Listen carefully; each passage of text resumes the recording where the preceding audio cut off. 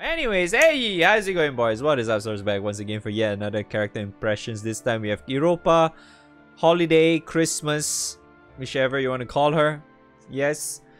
Alright, we are already the in December, man. Shit. But yeah, by the time you see this, it's already December. I'm technically viewing this in December too. But yeah, it's already December. It's almost the end of 2022. We have the very first set of uh, Christmas characters. We're gonna see more soon. Yep. But uh, yeah, I think uh, we have some few stuff to mention. I'm probably gonna put the the shit that I mentioned in Fiorito in here as well. Also, before I continue again, I would like to remind everyone because everyone seems uh, there's quite a few has been mentioning this again because uh, not too long ago I was uh, saying stuff about uh, what's that Earth Scepter that she's good now. People are saying Oh, uh, I, I, I always look back at uh, this Mr. Streamer talking shit about her on her release. Like, you do know that I do not have the character, right, on release? I just want I just want to remind you guys that this is not a review. This is just first impression, look at her on paper, what do I think about it? Every time when I test the character, I will get different opinions about it. And plus, plus, you have to also remember the character functions and changes the its functions very very differently when there's new content coming in. You also have to remember the main reason why I feel like Earth Setter was really really strong is because Nightmare 200 became a thing. Hmm. Yeah, so uh keep that in mind. So yes, let's continue. so this people just keeps keeps shitting on me just because I talk shit of a character on my first impressions. Okay. so she has uh she has 1980 HP, she has 69 100 attack, nice. She's earth now, she's balanced, she's staff, and yeah, okay. Bright snowflake. Unworldly earth damage to a foe, raise glaciate level by 2. Oh, so she's the second character, I think, to have glaciate in earth. Isn't there another glaciate character on Earth, if I recall correctly? Max is 10, so it goes up by 2. Restores all allies' HP and remove one debuff. Oh, that's kind of nice. Uh, Galit, Galit Prison. 6 hit, earth damage to all foes. Okay, that's that's interesting. Cold Cage effect hit to water attack and boost to Blessed Maiden's effect. Cooldown is 12 turns? Holy shit. So this goes down to 10. Blessed Maiden effect is boosted. Can be removed. Last for 5 turns. Can attack. Cold Cage. Cool. Okay. Tyrus Glacius. Glacius debuff immunity to all allies one time. Boost to boost to a frozen gift for you effect. What? Boost to a gift. What? A frozen gift for use. for use effect. so this is 10 turns too? Okay. Uh-huh. That sounds this that's so weird, man. Uh epem does uh yeah, whatever that's called. Earth damage to a foe raise glaciate level by 1 max 10 when a foe's glaciate level is 5 or above lux lust, lustrous mercury effect affects all allies. Okay. So that's a passive. Three turns. So that thing only... Hmm, okay. That's only three turns.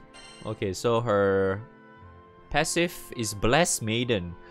Amplify Earth, Earth allies damage against water foes. So she's a seraphic character. Cool. A frozen gift for you. 10% boost to all allies charge bars at the end of turn. Oh. So it's boosting that. Lustrous Mercury is no charge bar gain upon normal attacks. Amplify normal attack damage. Deal triple attacks. Buffs can be removed. Huh, that's actually really nice. Because that applies to everyone, right? Whenever she S3. And that's 7 turns. I mean, 7, it costs, uh, lasts for, uh, what's that? Cooldown is 7 turns, lasts for 3 turns, and then it's uh, Glaciate 5 and above only. Technically speaking though, technically speaking, you can still use somewhat the same shit. But instead of Gandalf, you slot her in. So, I feel like you could technically still Ogi every turn with her though. Wait, can you? Because she's not... Because hmm. she's... I actually don't know. Maybe. I'm not too sure. because she only doesn't get charge bar gain on Ogi, right? I mean, on autos, right? You technically still can run like uh, what's that? An Ogi setup with her, and you can literally get heal and clear every turn. So that's that doesn't sound too bad. I mean, she is like technically buffing for uh, the uh, what's that? Normal normal attack stuff, but yeah, if you don't get Ogi every turn, you can still get that. So it's pretty nice though. So Unworldly goes to 2.9 million. Restore HP is 2500. 2500 and clear. Very nice. The 6 hits is 295k per hit. That's not too bad. Because yeah, it's like it's basically like uh, summer summer Shiva, yeah, in, in a way. yeah, technically she is, like Summer Shiva. I kind of like her skills more compared to Shiva though. The third skill is 800k. Base dam base cap damage is 800k. Okay. And then uh so by default Okay, so by default, this one is 20%. It goes to 30%. Cool. So then this one goes to 20%. This sounds kind of ass though. in, in a way, that sounds kind of like ass, but... I mean, if you were to compare it with the likes of uh, Summer Shiva as well, it's not really that different though. Summer Shiva's second skill is kind of whatever too. Because Summer Shiva is like healer, right? I think. Summer Shiva is heal or something, second second skill. Is veil and heal. So it's just boosting the heal. But then again, it's like she gets heal and clear on Ogi, right? Yeah, I actually I actually prefer her shit more because Summer Shiva on third skill, he basically just gets CA reactivation on 10 turn onwards and uh, instant charge. Wow, technically she can boost to everyone as well. And she's technically nuking too, so... I feel like it's just so much better instead of CA reactivation crap because, you know, it takes too damn long. yeah, she's unworldly as well. So technically, if you did get her, she can... I mean, if you think about it, she can kind of be like your OTK character as well in a way. Because unworldly and shit. And she can be your seraphic weapon too, so... If you're running the uh, the whole Long Dong shit going, right? You can technically not use seraphic weapon and you can use something else to just allow yourself to have consistent damage for example. I don't know if you have if you still have problems with damage consistency. But yeah it's not too bad. You can also kind of run her as an OTK character. But even so even so i actually like this a lot because it gives you a really really nice option in like for longer raids basically you know? Like non-burst type of setups, right? So full auto slash manual, whichever you're playing as, right? Because technically they're more or less the same anyway these days. I usually say it as full auto, but what what usually that means is raids that last for quite some time, right? So she's really really nice for that, because you know you can you make this looks really fucking nice though. I do not know why, but this sounds really fucking nice. Wait, how much is it? 20%?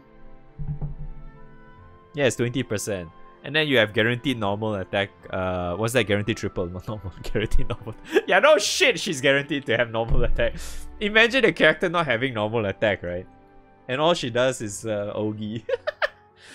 I mean, technically we do have those kind of characters too, right? But yeah. Um. All right. So what what else does she have? Yeah, she doesn't have very like uh, you know, special stacks or whatnot. I mean, Glaciate is well, Glaciate, right? It's the same shit. but it does look like she can get... She can get the... Uh, the Glaciate to level 5 quite easily though. I like I even like her skill 1 more. I actually really like her skill 1 more in comparison to Summer Shiva. Because her skill 1, right? Her skill 1, you have to remember they have the same cooldown as well too. It's literally identical to Summer Shiva, right? Both of them have the same cooldowns. Except for the last one, I guess. Because the last one for Shiva is 6 turns instead of 7. But like this two is the same. They're both 10 turns, right? But I feel like Europa is better because of Cold Cage. this one I feel like it's just way better though. Because the can attack thing is almost similar as uh as can act, but it's not as OP as can act. If you if if you get if you understand what I'm trying to say. Because it's like I feel like the chances of her hitting her cold cage is probably almost guaranteed on the first one. Second time, almost probably you never see it again though. but like, if you're in a in raid where you have uh, stuff being pushed onto the boss that has debuff resistance down or whatever, it's actually really good though. yeah, this this first skill of hers is actually really good because of the uh, cold cage stuff. Just making the boss not being able to attack is kind of like very very close to paralyzed too, I suppose in a way, but you know, it's not bad. Not bad, but still, I wouldn't warrant that as a as a spark character anyway. I don't think it's even worth to spark for her. no, I don't think so. it's it's not like it's not like when Summer Shiva came out at that time, and at that time Summer Shiva was like, yeah, you know. now he's kind of like, eh, you know. It's not so. It's not. It's not so. You know, the the the the, the shit anymore. You know. All right, Saintly Fountain. Is that a chocolate fondue? It does, doesn't it? it looks like a chocolate fondue. yeah, then the thing is just frozen there. Nice. Okay. Uh, revitalize to all allies. Big tri big triumph. Ah shit. Multi medium double attack and critical rate. Wow. I totally need those multi attacks as Earth, man. Woo! What an absolute shit of a weapon! Let's go! Still no full limit break though, so yeah, it's pretty shit. who wait, I mean who knows we might get like uh what's that?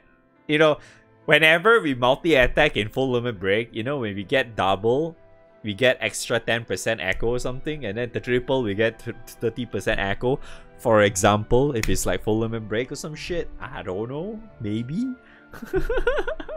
that that that that's for us to uh to enjoy in 2025 or something. but yeah, all in all, she seems alright. Very very similar as Summer Shiva, but I still think that she's probably a much much better character in comparison to him. But does Earth need a character like this? Probably not. yeah, not so much. Not so much, nah.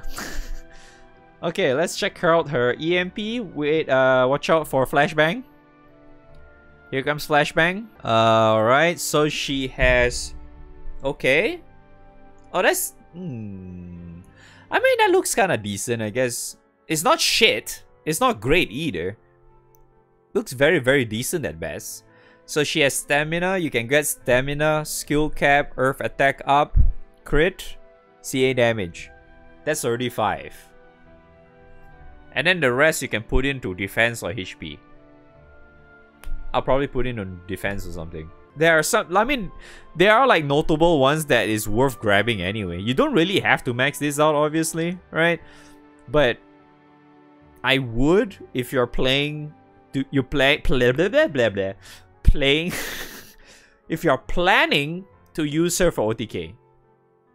But a lot of times, even in full auto, I would still actually just level that anyway just to make her her CA damage a lot more consistent in like maybe for example if you have like no uh, utility characters at all in your party. No one to buff your shit or whatever. So your damage is kind of like, you know, it's just like you, you're very reliant on the character's raw damage for the most part. So this kind of helps in those situations. So that's that's that's why. And plus, like, she doesn't really have, like, really good raw attack, isn't it? Because she's at 6900. Nice. so, even if you bump up her, her, her raw stats or whatnot with, uh... What's that? With, uh, rings, uh... Earrings, whatnot, uh... Awakening, all that shit, right? If you're not running her as attack awakening, you probably still do not have a lot of uh, stats anyway. She probably, if you have a really good roll on her ring, and then you get her awakening, the balance one for example, she probably be just slightly over 10k or something. Or maybe just close to... Yeah, it's like probably 11 to 12,000 or so, which is... I would say it's like... That sounds rather low for someone that already is capped out on the... Uh, the balance awakening and getting like a really really like super high roll ring or for example right? If say like for example your ring is like 2700 attack or some shit right? You're you're just barely hitting over uh 10k with the awakening. Unless you swap it to attack awakening then yeah obviously it's gonna be relatively decent but i think for her you're probably better off not running attack awakening anyway I mean, because at the same time, it sounds kind of funny where she... Alright, I'm just gonna disable this because it's really bright. She looks like a character where you can physically do damage with her because, you know, she has this, right? But her stats are not really the greatest. So, technically speaking, it wouldn't really sound too bad giving her attack uh, awakening too. Because, you know, with the whole uh, the brand new level 9 awakening stuff is like it adds quite a bit for like those particular uh, ones that you actually decided to go for instead of just sticking to pure balance one.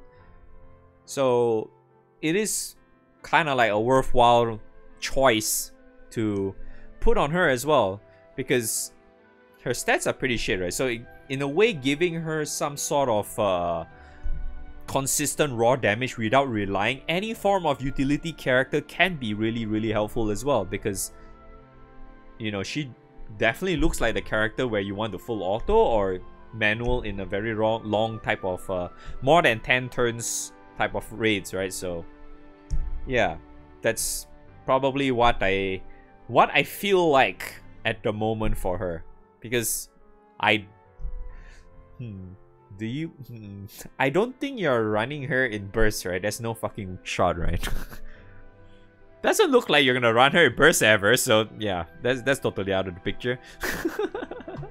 so you probably just stick with her with uh, full auto. You could probably even run her in like uh, the the the the hard the hard run hard raids. Like you could even run with uh, Wait, actually, if you think about it, right? If she can consistently Ogi relatively well with Okto and Monica Valentine, right? She actually feels very, very nice in... Uh, she feels very, probably quite nice even in Super Baha, actually, if you do not have some Sandalphon, for example. Because usually there's the, the whole standard Kengo setup, you run Sandalphon though.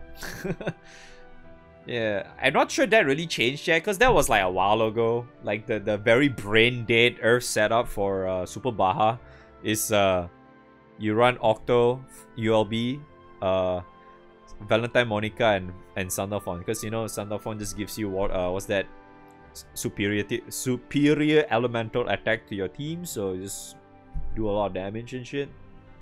So yeah, it's pretty good.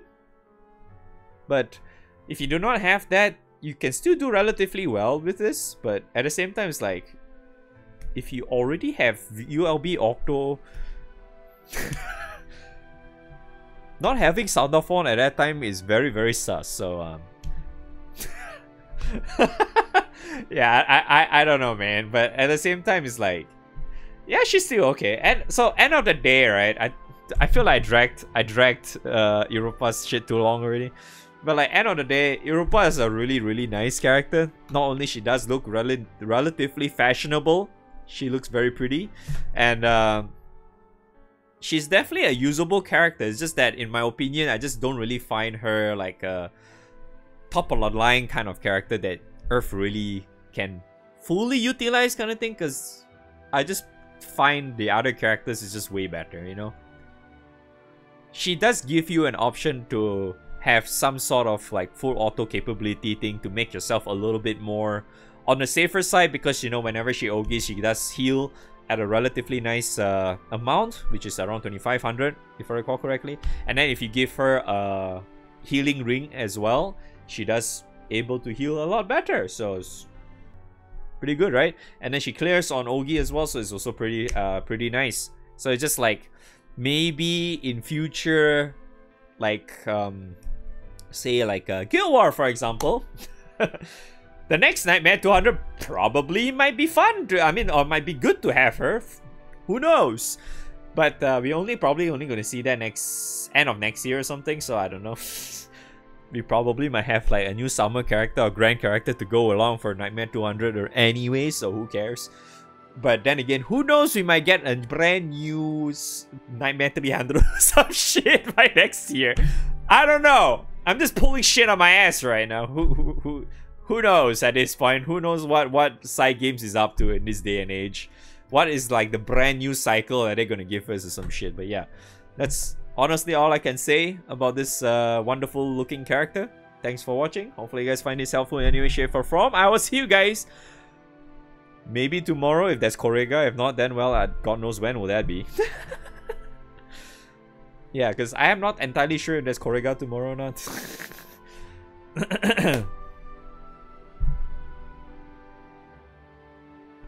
Where for the buffs can be removed the reason why I never say anything about that, I emphasize too much about the buffs cannot be removed is because you have fucking Okto. if you have Okto, you have permanent veil and dispel cancel. You do not need that.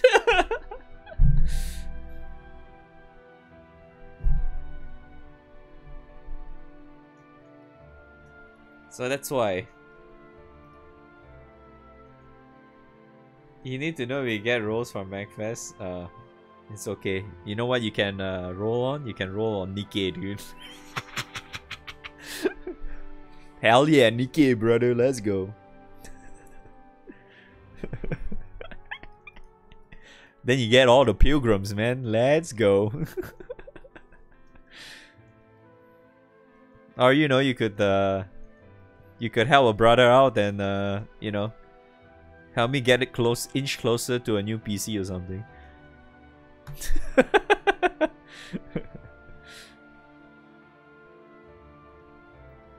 Best game in the world, then you get banned. man, Happy is so salty, man. Feels bad, dude. Hey, to be fair, at least you didn't spend anything on it, right? Yet. Imagine if you you already just buy the uh, monthly card or whatever, and then they give you that, you get banned. So it's like you're missing six days of login or some shit.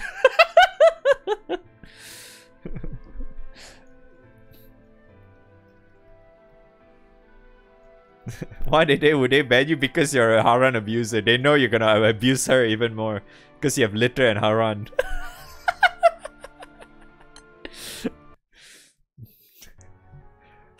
Get fucked. oh shit, alright. Should I say anything about should I should use Spark?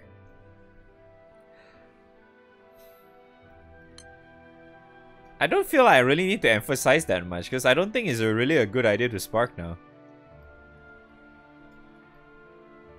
This this two characters is not worth sparking. It's like you only get them because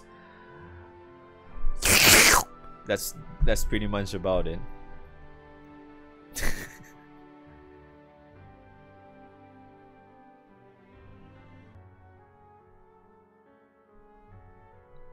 All right, true. Yeah, true. I guess I should give the warning, yeah, because today this this banner is the last time you see Tiger.